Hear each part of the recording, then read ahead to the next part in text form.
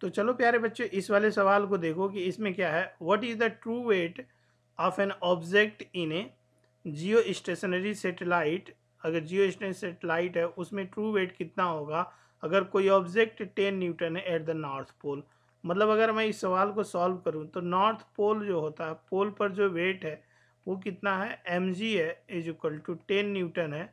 That is story at pole तो I hope कि आपको पोल पे इक्वेशन नंबर फ़र्स्ट। तो ये कहानी कहाँ है? पोल पर है। तो ये जो है, ऑब्जेक्ट ऐसे है यार, ठीक है? ये तो जब ये पोल पर है बार बार हमें ये सर्कल बनाना पड़ता है तो यहाँ पर ये वाली जो चीज़ है, ये बच्चों, ये इक्वेटोरियल प्लेन है, ठीक है? और ये अपना पोल है। तो अगर ये ये पोल है, ये पोल है तो इस पोल पर वेट कितना है? Ten newton. अब कहते हैं, अगर कोई जियो स्टेशनरी सेटेलाइट है, जीएसएस है तो let us consider any geostationary satellite. तो अगर मैं कोई जियो स्टेशनरी सेटेलाइट कंसीडर करता हूँ, जो इस अर्थ का चक्कर लगा रही है, इस आर्बिट में लेट अस कंसीडर ये अर्थ है और ये इस आर्बिट में कोई जियो स्टेशनरी सेटेलाइट, जीएसएस कोई चक्कर लगा रही है। This is the geostationary satellite और ये यहाँ से ये वाली चीज़। तो हमें निकालना है कि अगर इस सेटेलाइट में, इस वाले सेटेलाइट में कोई ऑब्जेक्ट है तो उसके पास वेट कितना होगा, हमें इसकी कैलकुलेशन करनी है।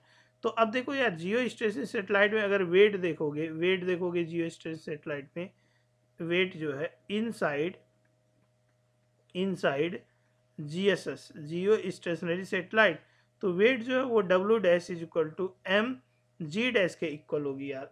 समझ में आया? और ये जो है जी डैश ये अर्थ का सेंटर ओ है और ये जो हाइट, ये रेड, ये आर्बिट है, इसको तो हमें निकालना पड़ेगा, ये आर्बिट। ये वाली हाइट जो होती है, वो एच है और ये जो है वो radius of earth, capital R है।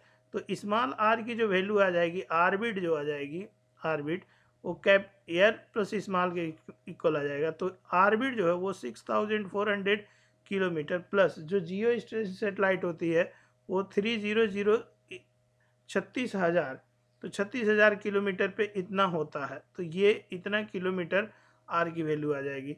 तो सिंपली यहाँ पे जब कोई जी, इस वाले जियो स्टेशन सेटेलाइट में रहेगा तो फिर इस पॉइंट पे बस जी हमें रखना होगा तो जी की वैल्यू रख देंगे तो प्रॉब्लम सॉल्व हो जाएगा।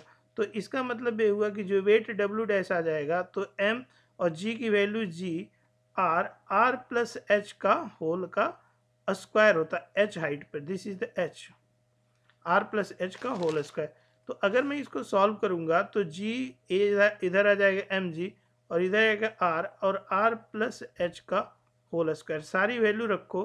एम जी की वैल्यू टेन न्यूटन पहले ही दे रखे थे. ठीक है? Radius six thousand four hundred kilometre divided by six thousand four hundred kilometre है plus geo station satellite understood है, दिया नहीं गया. छत्तीस हज़ार के लगभग होता है. तो डब्लू डैश की जो वैल्यू आ जाएगी, वो zero point two three newton आ जाएगी, जो कि बहुत ही कम है, ठीक है ना? तो ये ये वाली this is the situation this is the weight of the object in geo satellite तो आई होप कि ये आपको क्लियर हो गया होगा।